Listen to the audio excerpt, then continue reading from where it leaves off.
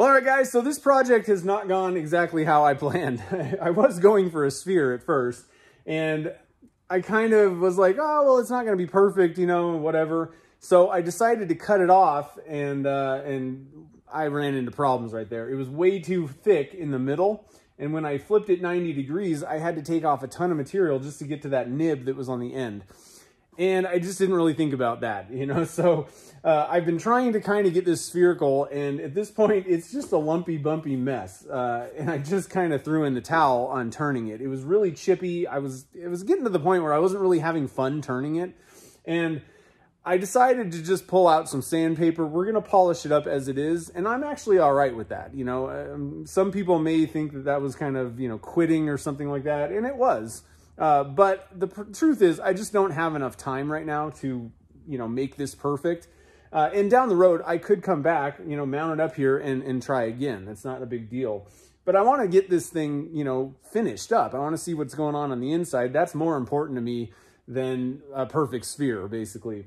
So I'm just going to go through and sand it. Right now, it's up to 80 grit, uh, and I've been kind of sanding it, just smoothing things out. it's pretty it's pretty sad. So uh, I, I welcome any jokes or anything like that down in the comments. Try not to be mean. You know, I, I've just kind of, at this point, the best thing for me to do is to just, you know, polish this up, see how it looks. Down the road, I can revisit this if I really want to and, and, and try to get this thing perfected. One of the other reasons I'm not really not going to go any further with that is it's just going to get smaller and smaller.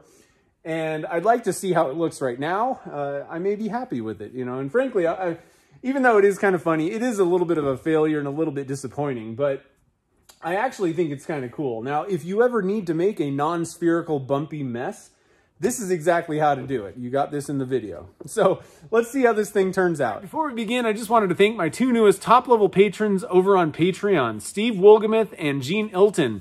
Really appreciate it, guys. Thanks for the support and at the top level. If you'd like to help support the show over on Patreon, you can do so over at patreon.com slash nvwoodwerks. Now back to the video.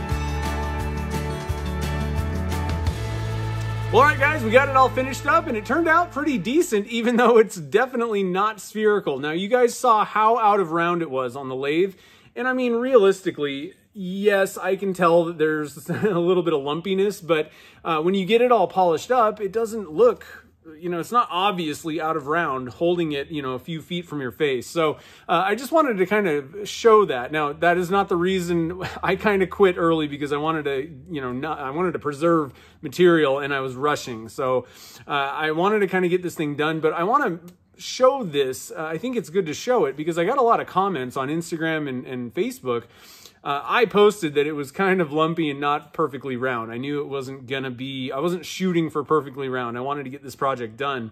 Uh, however, in the end, it still looks good. You know, you don't have to get it dead perfect, especially on things like this. You know, once you've gotten it polished up, I mean, really, you hold it a foot away and it's not obvious that it's not perfect. Uh, I think it looks kind of cool and I'm pretty happy with this overall. The only thing I'm a little bit disappointed with was uh, during the casting, somehow the, the resin hitting, you know, bonding with the resin, the raisin guy, resin, raisin, uh, it, it uh, some kind of weird issue happened with that and there's shiny spots all over him. So that was a little bit disappointing, but overall I'm pretty happy with this thing. One other thing I wanted to mention is I actually tried out something that uh, Ben over at Ben's Works does. Uh, I tried using uh, automotive polish as kind of a final step on this. I didn't get video of it. I was just kind of messing around trying different stuff, but uh, really happy with the shine that you get from, pla uh, not plastic polish, but it was automotive polish.